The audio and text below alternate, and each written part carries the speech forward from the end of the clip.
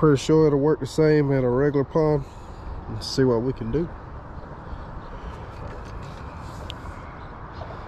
Got the little jewel 12 foot bream buster.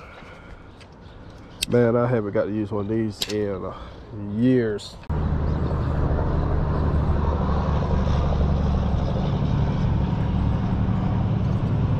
Yeah, a little old tiny fish.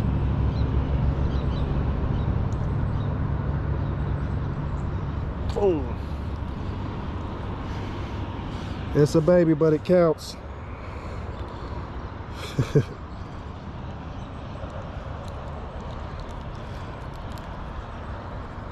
Beautiful. All right, one more. One more. I promise I'll go. If I get one more.